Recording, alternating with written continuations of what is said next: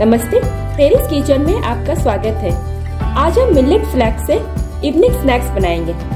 ये खाने में बहुत ही चटपटा लगता है और इसे बनाना बहुत ही आसान है। तो चलिए इसे बनाते हैं।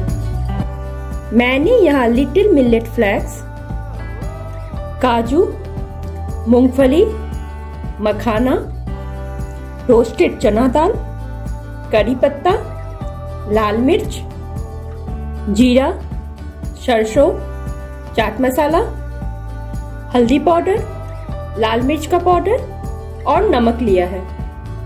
कढ़ाई में मिलेट फ्लैक्स डालेंगे और इसे दो से तीन मिनट मीडियम फ्लेम पर भूनेंगे।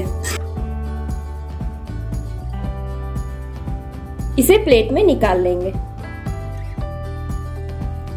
कढ़ाई में मखाना डालेंगे और इसे भी दो मिनट मीडियम फ्लेम पर भूनेंगे। मखाना भुन गया है, इसे भी प्लेट में निकाल लेंगे।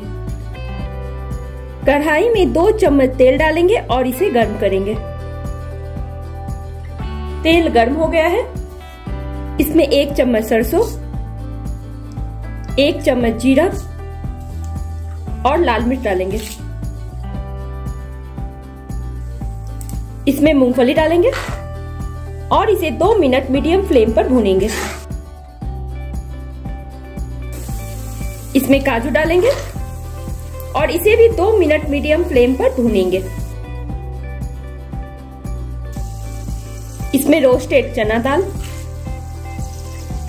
और करी पत्ता डालेंगे। इसे भी दो मिनट मीडियम फ्लेम पर और भूनेंगे। इसमें आधा चम्मच हल्दी पाउडर डालेंगे और इसे मिक्स करेंगे।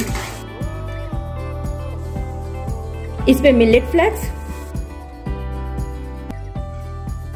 मखाना, एक चम्मच लाल मिर्च का पाउडर, एक चम्मच चाट मसाला और स्वाद अनुसार नमक डालेंगे। इसे मिक्स करेंगे।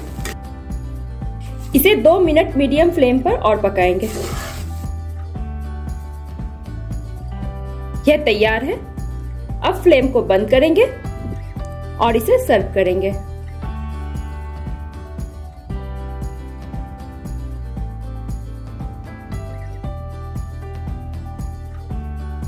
मिलेट फ्लैक्स से बना इवनिंग स्नैक्स तैयार है। धन्यवाद।